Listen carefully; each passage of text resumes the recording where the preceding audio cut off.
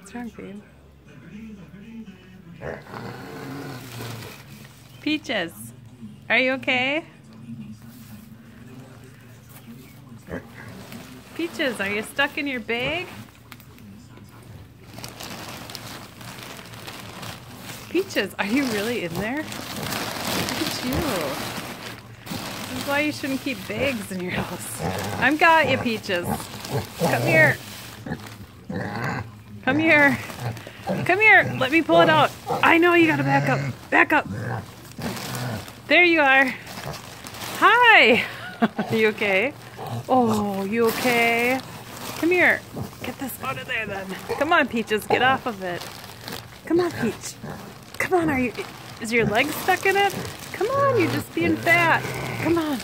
Good girl. Oh, girl. There. There you go, Peaches. You're fine.